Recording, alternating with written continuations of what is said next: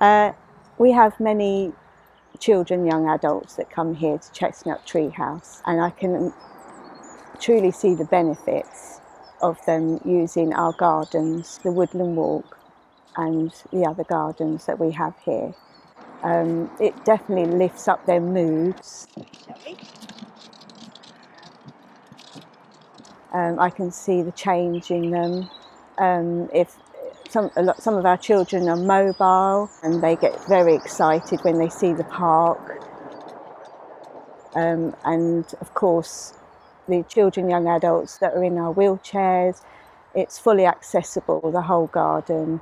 Uh, we're very lucky with all the facilities we have here. Um, if, if a family were to take a child, young adult, to a, a garden down the road from them, say, um, it wouldn't necessarily be wheelchair accessible.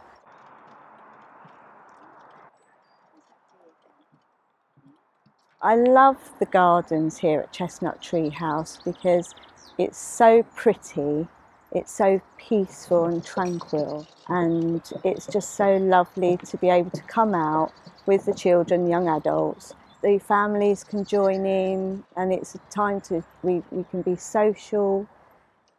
Um, it's just so it's just so lovely